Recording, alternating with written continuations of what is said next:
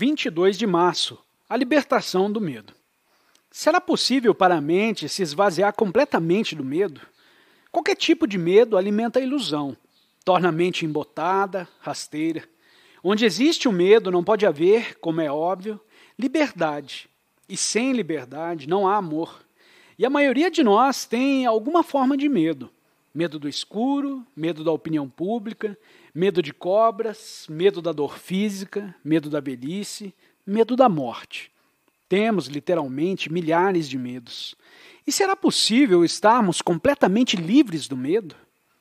Podemos observar o que o medo faz a cada um de nós.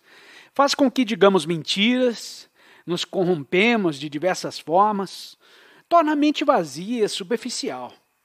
Existem cantos escuros na mente que nunca poderão ser investigados e expostos enquanto tivermos medo.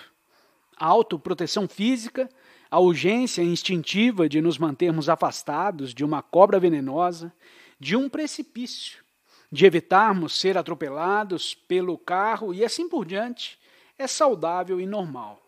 Mas eu estou a colocar a questão da autoproteção psicológica, que nos faz temer a doença, a morte, um inimigo.